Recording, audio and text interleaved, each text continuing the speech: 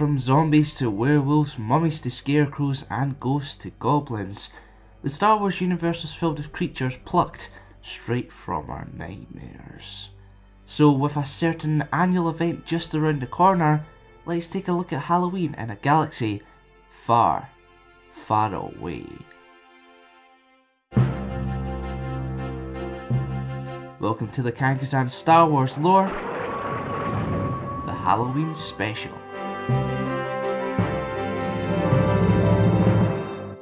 Halloween seems like an Earth exclusive holiday, right? Well, surprisingly no. Halloween was also an annual festival celebrated by the citizens of Coruscant and the Ewoks of Bright Tree Village. The latter, who considered Halloween to be one of the best events of the year, would dress as ghosts and other monsters, indulge in large feasts, and spring scary pranks. Unfortunately, on the Halloween of Free ABY, a savage predator known as a Hanadak attacked Bright Tree Village during the festivities. In response, Wicket W. Warwick led a small group of Ewoks to drive away the creature. Eventually, they covered the Hanadak in leaves of a pleasant smelling plant, which soothed the beast to the point of retreat. On the same evening, a group of Duloks raided an Ewok storehouse. However, as well as stealing food supplies, they kidnapped Chief Chirpa, the leader of Bright Tree Village. Once again, Wicket led a recovery effort. By following tracks leading into the nearby woods, the group located Chirpa, cut their leader free from his bonds, and repelled the Dulok forces. Upon a safe return, the Ewoks continued the Halloween festivities.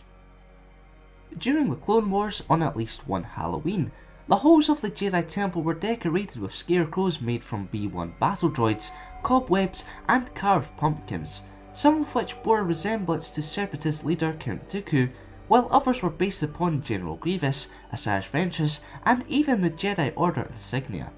Joining in on the festivities, clone troopers donned shiny gold armour, Jedi Knights dressed in pirate gear, and visitors to the temple were given robes and masks to appear as anything from Gungans to Supreme Chancellor Palpatine. Even droids dressed up. Astromechs, for example, often wore sheets over their domes for a ghostly guise. In addition to the annual spooky celebration, there are many Halloween related monsters and creations within the Star Wars galaxy itself. Demons, for example, were mythological creatures with pointed ears and horns, bearing an uncanny resemblance to the Devaronian species. Furthermore, the Anzati acted like vampires, in that they could not live without replenishing their strength and power from eating the brain matter of others. In a similar manner, energy vampires were creatures who bit others to drain their life forces, turning the victim into a mindless zombie. Speaking of which, zombies came in many forms, whether it be reanimated dead beings, long dead Sith warriors who, ghastly in appearance, struck enemies with waves of force lightning, or revived corpses conjured from Dathomirian witchcraft. That's right, witches also existed. The most common of which, no pun intended, were the Witches of Dathomir, a group of human force sensitives who could cast a wide array of powerful and intense magic spells. Now it's time for last week's question. What or who do you plan on dressing up as for Halloween? Let me know in the comments below.